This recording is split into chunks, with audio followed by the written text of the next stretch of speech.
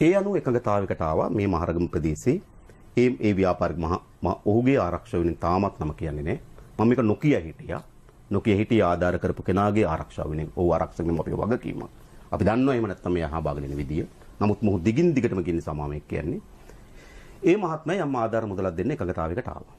ඊට පස්සේ හඳුන් අ, මහරගම රැස්වීම අවසන් වූ වෙලාවෙත් හඳුන්නේ සහෝදරයා කිව්වා අනුර සහෝදරය දැන් මේ මහරගමට ඇවිල්ලා තියෙන වෙලාව අපිට මේ ආධාර මුදලක් දෙන්න එකඟ වෙලා තියෙනවා. අපි දෙන්න යන් කියලා කිව්වා. දැන් අපිට මැතිවරණ කවන 2010. මේක මේකත් මතක තියන්න 2010 ජනාධිපතිවරණ පොන්සේකා මහත්මයාගේ මැතිවරණ ව්‍යාපාරේ එක්සත් ජාතික පක්ෂයත් අපිත් එක වේදිකාවේ රැස්වීම පවත්වපු අවස්ථාව. ඒකත් අපි තේරුම් ගන්න. ඒක හරිද වැරදිද කියන විවාදයක්. ඒ අවස්ථාවේදී මමත් හඳුනි සහෝදරයත් ඒ පුද්ගලයාගේ නිවසට ගියා. ඔහු ලක්ෂ 25ක් අපිට ආධාරයක් හැටියට දුන්නා. ඒ ලක්ෂ 25 දෙන වෙලාවේ විජේදාස එතන හිටියා. උත්තරයි. එතනදි ලෙසම කියන්න මහරගම කියන්නේ විජේදාස රාජපක්ෂ අමාත්‍යරයාගේ වසම. මට පැහැදිලි උත්තරයක් දෙන්න ඔහුට ලැබෙන්න තිබුණු ලක්ෂ 25 දේ ගත්තේ කියන එකට උත්තරයක් දෙන්න. ඒකේ මහත්මගෙන් අහන්න ඕන. ඔබෙන් අහන්න ඕනේ. මම දන්නේ නැහැ ඒක. ඔහුගේ හිතේ තිබුණේ අපට දෙන්නද විජේදාස රාජපක්ෂ මහත්මයාට දෙන්නද කියන මම දන්නවා. ඔබේ උත්තරෙන් පැහැදිලි වෙනවා ඔහුට ලැබෙන්න තිබුණු ලක්ෂ 25 වෙන්නත් පුළුවන් කියලා. මම දන්නේ නැහැ. ඒක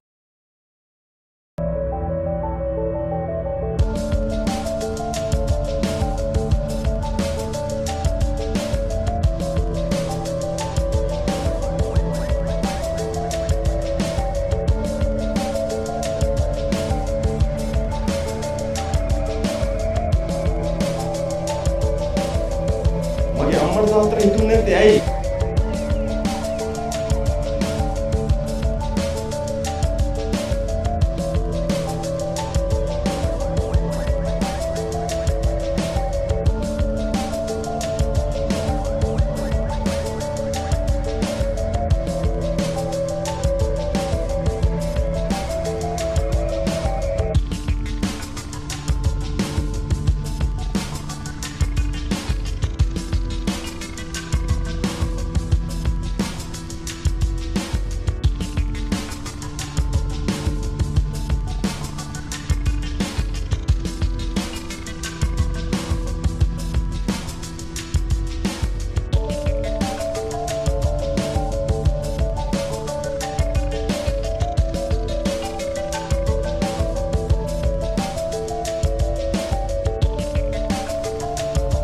මගේ අම්මට තාත්තට හිතුන්නේ නැත්තේ ඇයි?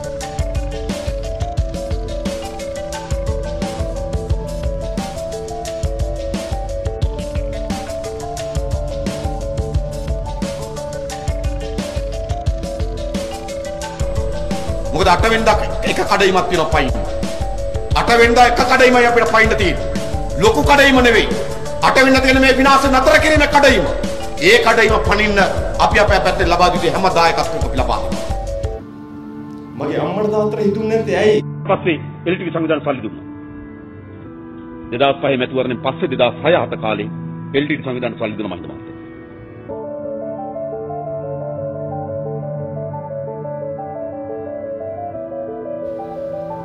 මගේ අම්මට තාත්තට හිතුන්නේ නැත්තේ ඇයි? ඒ වගේම දිනසිය වැඩ වැඩ පිළිවෙල තුළ විශාල සාකච්ඡාවට බඳුන් වී තිබෙනවා ජනතාවගේ සහන ලබා දෙන්න.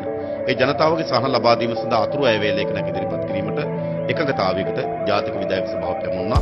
ඒ නිසා දිනසිය වැඩ පිළිවෙල අධීක්ෂණය කරමින් මෙහෙයවමින් ඉස්සරහට යන්න ජාතික විධායක සභාවට හැකියාව ලැබිලා තිබෙනවා. මගේ අම්මට තාත්තට හිතුන්නේ නැත්තේ ඇයි? සිවිල් යුද්ධයක අනිවාර්ය ලෙස එක් පාර්ශ්වයක් ජයග්‍රහණයකට තව පාර්ශ්වයක් පරාජය වී අවසන් වන සිවිල් යුද්ධ. ඒක අවසන් වෙනකොට මම ඉතින් ජනාධිපති වෙන කිව්වේ රට උත්තරයි. ඒක එක එක සීමාවක් වෙනවා යුද්ධයකදී ඒක එක ප්‍රමාණාත්මක වර්ධන වල එක සීමාවක් ඒ සීමාවට කඩා වැටෙනවා. වෙලා තියෙනවා අපි දන්න නිසා.